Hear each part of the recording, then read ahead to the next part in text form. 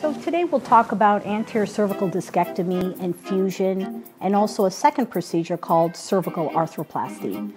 Uh, one has a different set of, uh, of uh, indications, so both address cervical radiculopathy and even cervical myelopathy.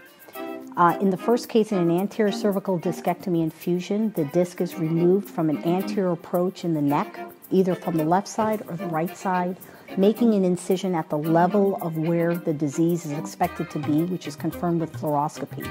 Once we do that and we do an exposure through the natural planes of the tissues, carefully retracting the important structures along the way, we are able to uh, expose the disc that is causing the trouble, place in uh, posts, and be able to carefully, under high microscope, remove this disc. This is identical in both cervical arthroplasty and cervical uh, anterior cervical discectomy and fusion.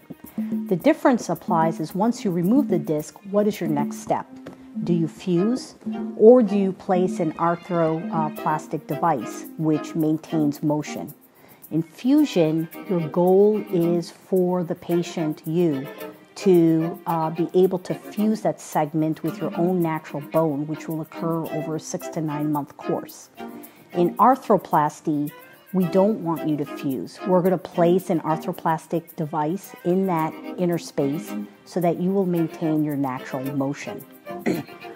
There are certain indications where an arthroplasty is the best way to go, such as if you're on the young side or you're active or you're worried that adjacent segment disease could occur and you really have disease limited to the nerve root. On the other hand, if you have very severe joint disease and you also have adjacent severe joint disease and a plethora of other factors, one may lead to deciding on an anterior cervical discectomy and fusion. And certainly, this mm-hmm. burden of decision mm-hmm. doesn't rest in your lap, it really rests in my lap. And what I would do is explain what the options are and why I think one option is superior over the other.